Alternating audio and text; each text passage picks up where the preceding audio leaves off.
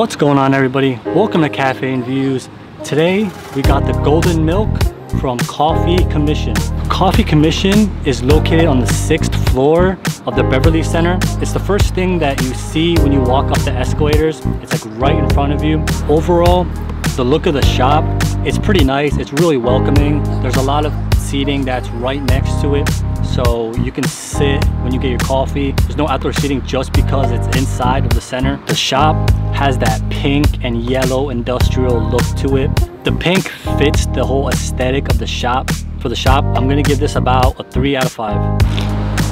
So their iced golden milk has oat milk, turmeric, cardamom, cinnamon, touch of black pepper, and is sweetened with agave. Let's talk about acidity. I'm not really getting much fruity notes from this coffee. It's not citrusy or blueberry or lemony. It's giving me more of like an earthy feeling. All together, they kind of combine to create that subtle sour feeling. It's like the earthy notes in this coffee are taken away from the sweetness. The only sweet note that I can get might be the agave. Everything else is a spice. The only feeling that I'm getting from this coffee is a mellow-like sensation. This is an interesting take on a coffee, including ingredients that are more so spices with milk added to it. I haven't had a coffee yet that really gave me just these kind of ingredients. I've had other coffees that included a lot of sweeter notes, but this coffee is just predominantly oat milk and spices, and it creates that unique flavor that you wouldn't get in another coffee. For acidity, I'm gonna put this at a 2.5 out of 5. Even though the pepper is pretty subtle and there's only a slight dash of pepper in here, that's kind of what I'm getting. But once the pepper aroma subsides, that real turmeric sensation starts coming out. You can tell just based off the coffee color that a lot of turmeric went into it. There's not anything that really creates this kind of look and the color of the coffee. If you're familiar with spices, you're automatically gonna think that turmeric was the main source. So far, the pepper and the turmeric are the main aroma notes that I'm getting. It is a pleasant smell. Because the turmeric and the agave are combining, it's creating a subtle sweetness. So the flavor is more sour and then the aroma is more so on the sweet side. It is attracting me for more. As I'm really thinking about it and as I'm putting my nose deeper into the coffee, I'm getting kind of like a fake lemon smell. It doesn't smell like a lemon would, but it kind of smells like a lemon candy. The turmeric and the black pepper and agave are combining to create that candy lemon aroma. I am able to taste the coffee based off the smell. The turmeric is so intense that I'm able to feel the sensation in my nose and in turn, I'm starting to feel it in my tongue and in my taste buds and in my throat. The main aroma is flowery and spicy. It's not fruity, it's not nutty, it's not chocolatey. It's just straight up spicy and flowery. But you do have to lean into the coffee a lot to really get that strong flavor. You're not gonna get it from further away. As I keep putting my nose into the coffee, I'm getting more and more notes. In the beginning, I was just getting a pepper smell but then I kept going and I started getting that turmeric. All the smells are good. The turmeric is the main ingredient and it's creating a nice aroma. It's combining with the other ingredients to create that nice sensation. For aroma, I'm gonna put this at a four out of five. Next up is gonna be body. It's more so like a water consistency. It is providing a nice coating in your mouth, which is, it's different and it's surprising because usually a water consistency coffee is not gonna do that. It's just gonna glide off your tongue and not stick around and you're not gonna get an aftertaste from it. But for this coffee, it's coating your mouth, it's coating your tongue, it's filling in your taste buds, it's providing a texture and a slight weight to it, but the flavor is not sticking around. It's just the overall coating and the texture of the coffee that's sticking around. You're gonna get the flavor for about half of it, and then for the rest of it, you're just gonna feel like there's a coffee there. It doesn't feel as rich. I'm sure that the ice and the water watered down the coffee and it kind of took away from the overall weight and the texture. For body, I'm gonna put this at a 3.5 out of 5. This coffee is not balanced as well, but that's okay because if you like the taste of turmeric and pepper and agave, you're gonna be really satisfied with this coffee. If you don't like those spicy ingredients, the turmeric is really gonna throw you off. It's different than most coffees, so when you try this coffee, you might be a little weirded out. But for me, I like trying new things. I like trying new coffees. So trying this and first time trying a predominantly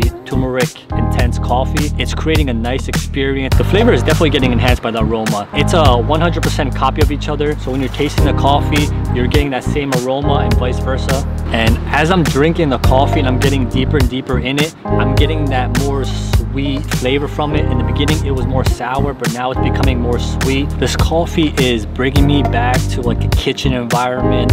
If I'm cooking and I'm using spices and I'm starting to shave off some turmeric. I'm using some black pepper, a little bit of agave. All those ingredients are putting me into a kitchen-like environment. So overall, it's putting me in a unique and different environment than other coffees would. Other coffees are putting me in a, a good state of mind. They're putting me into an area where I can enjoy the sights, I can enjoy the ambient sounds, just overall enjoy West Hollywood and Beverly. This coffee is not gonna be forgettable, especially since it's the first time I've had a turmeric predominantly coffee. So I'm definitely gonna remember this. Anytime I think of turmeric or start using the spice or see a coffee that uses it, I'm automatically gonna think of this coffee and coffee commissary. The main ingredient that I'm getting is turmeric. I'm not really getting many different flavors in the beginning. It's about 75% turmeric and maybe about 10% pepper, 5% agave, and then the rest is gonna be like cinnamon and oat milk. You're predominantly gonna get the turmeric. If you don't like that, you're not gonna enjoy this coffee. For flavor, because it's unique, I'm gonna put this at about a four out of five. Let's talk about sweetness. In the beginning, it gave me like a watered down flavor and I was thinking that the turmeric was kind of sour, but as I was getting towards the bottom and it started maybe mixing a little bit better, I was getting more of that wheat flavor. As I was getting deeper into the coffee, the flavor was becoming more like the aroma. In the beginning, the aroma was more intense and the flavor was more toned back, but now the flavor caught up and it started being 50-50. But the sourness is still coming out a little bit for sweetness because it got sweeter. I'm gonna put this at a 3.5 out of 5. Next up is gonna be aftertaste. When the coffee is in your mouth and you're feeling it on your taste buds, it's giving you a sour-like sensation, but when you finish drinking the coffee, you're getting a little bit of a sour feeling. When everything's all said and done and it's gone, the little remnants of it provides a slight sour taste. It's kind of like a little kick at the end, but it makes sense because turmeric is a spice and spices kind of give a little bit of a kick at the end. Yet you get a little bit of that feeling in your throat. It's smooth all throughout. It is hugging your mouth. It is providing a nice coating, a nice texture. It's sticking around for a little bit, but the flavor is kind of going away towards the end. It's definitely making your mouth wet. You're not getting any sort of dryness at all. There's not even like a subtle dryness. It's still providing a different experience. It's still sticking around. So you're getting a sensation when you're drinking the coffee and then at the end, you're getting that true spicy pepperness feeling. It also doesn't dissipate quickly. It's starting to stick around and even when you get that sour note in your throat, it's not really making me go in for more as much, but I am enjoying this coffee. It is providing a good experience all throughout. It's not discouraging me from keep drinking the coffee. It's just a different vibe. It's just a different, a unique experience. So maybe if I get this coffee again or a third time, I'm gonna like the turmeric intense flavor but right now it's just okay. It's a good coffee. It's gonna get the job done. It's gonna provide a nice flavor and aroma, but it's nothing spectacular. For aftertaste, I'm putting this at a 3.5 out of 5. Next up is gonna be complexity. The shop is pretty complex. There's a lot that's going on. It's It doesn't have that boring vibe. Like you, you walk in there and you just want your coffee and leave. It gives off a nice experience and you're also able to sit down when you're there. The colors combined with the seating gives off a good vibe. And then the coffee cup also has the branding on it, which I want more coffee shops to do that. I want them to brand the coffee cup more so when you're drinking the coffee, you know where you got it from and you kind of associate the flavor and the coffee to the coffee shop. Although the turmeric is more intense, you're still able to pick apart the little ingredients. In the beginning, like I mentioned, I was getting the pepper note and the agave more prominent then I started picking up the turmeric a lot more when I was actually trying to look for it. For the looks as well, it is complex because I haven't run into a coffee that has this type of unique coloring to it. It's like a natural coloring. It's not a fake yellow that you might get in other candies or foods of that nature. This is a nice organic yellow. The only thing that doesn't blend together is the turmeric. All the other ingredients are blending together nice kind of complement the turmeric, but it's still a more prominent ingredient and it's still sticking out a lot more than anything else. For flavor, it's the same from the beginning to the end. And then when it's in your mouth, it's providing a nice coating and it's full and rich and thick. And then once you swallow it, it gives that spicy kick in your throat, but it's not enough to really cause any badness to it. For complexity, I'm gonna put this at a four out of five. Let's talk about balance. Like I mentioned before, turmeric really stands out because it's a unique spice and not many coffees use it. But if you're used to turmeric, it might seem pretty basic. It's a pretty unique and complex feeling, but it is smooth and consistent.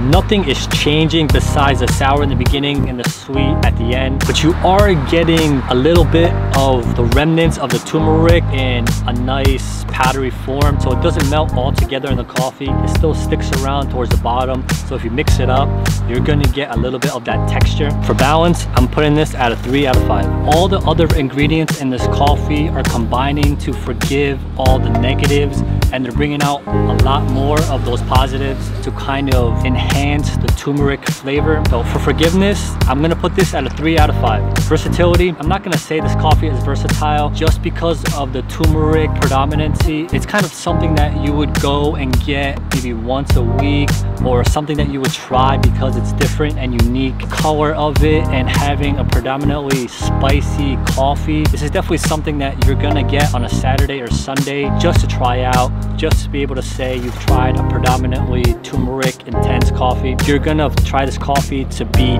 different, to kind of put you in maybe like a chef mood or a cooking mood or just an overall nature and organic feeling. I'm gonna put versatility at a two out of five. All in all, the green milk Coffee Commissary got a 34 or a 68% out of 100. Thank you so much for watching Cafe and Views. Well, we went to Coffee Commissary and we got their golden milk. Keep watching that TV to see where we're going.